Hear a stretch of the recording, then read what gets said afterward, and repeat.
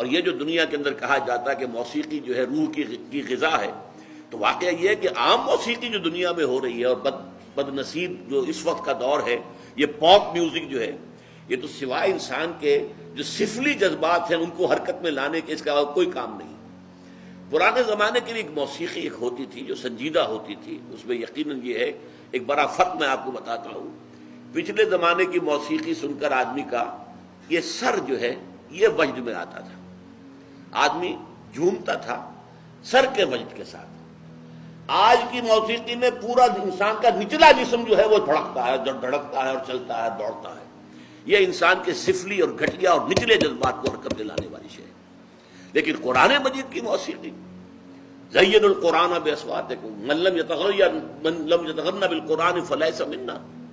तगन्नौ हो इसको बड़ी गना के साथ पढ़ा करो। और यहाँ तक कि आपने एक सहाबी, हज़रत अबू मूसा अशरी रसी अल्लाह उनको अल्लाह ने बहुत उमदा आवाज़ दी थी। जैसे बाद साहबा खूबसूरत बहुत थे। हज़रत दहिया कलबी रज़ी अल्लाह तु बहुत हसीन इंसान थे। चुनाचे हज़रत जब्राइल जब इंसानी शक्ल में आते थे तो हज़रत दहिया की सूरत इख्तियार करके आते थे। दहिया कलबी। इसी तरह सौत जो है, सौत ही आहंग और अच्छी आवाज़, ये अल्लाह ताला ने हज़रत अबू मूसा अशरी को अता फरमाई थी। तो एक मरतबा हजूर रात को गश्त पर थे। आपने देखा हज़रत अबू मूसा अशरी के मकान के करीब से मकान क्या होता था? हुजरे होते थे छोटे छोटे से। वहाँ ये थोड़ा ही था कि अब ये इतना बड़ा बाहर का कंपाउंड है, फिर उसके अंदर जो है वो वो कोई डेवड़ी आएगी, फिर तो छोटे छोटे हुजरे थे। तो हुजूर हज़रत अबू मूसा अशरी के हुजरे के बाद खड़े होकर कुरान सुनते रहे। वो कुरान पढ़ रहे थे रात को तहजुद में।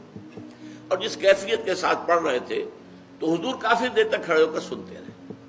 फिर अगली सुबह फजर में जब मुलाकात हुई तो हुजूर ने तहसीन फरमाई, या अबा मूसा इन कद ऊती मिन मजामीर दाऊद। अबू मूसा शरी, आपको तो अल्लाह ने आले दाऊद के साजों में से एक साज अदा किया है। हज़रत दाऊद अलैहिस्सलाम को अल्लाह ताला ने दाऊदी मशहूर है। बहुत अच्छी आवाज़, हसीन आवाज़ दी थी। वो जब तहजुद के औकात में, और जिसको हम कहते हैं small hours of the morning ये सुबह के तीन बजे, चार बजे, दो बजे, जब वो अल्लाह ताला के हमद के तराने जो है अलापते थे तो कुरान मजीद की गवाही यह है कि पहाड़ भी उनके साथ वजद में आ जाते थे और परिंदे भी उनके साथ आवाज़ में आवाज़ मिलाते थे। ये तासीर थी लहने दाऊदी की, हज़रत दाऊद अलैहिस्सलाम के पढ़ने में। तो हजूर ने फरमाया, जैसे अल्लाह ताला ने हज़रत दाऊद को, के गले में एक साज रख दिया था, वो साज कोई बाहर का साज नहीं है।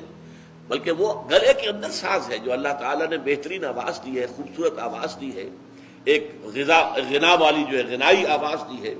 तो जैसा अल्लाह ताला ने ये मिजमार अता किए थे आले दाऊद को, ए अबू मूसा, तुम्हें भी अल्लाह ने इन नकद ऊती मिजमारन मिन मजामीर आले दाऊद। आले दाऊद के साजों में से एक साज अल्लाह ने अता कर दिया।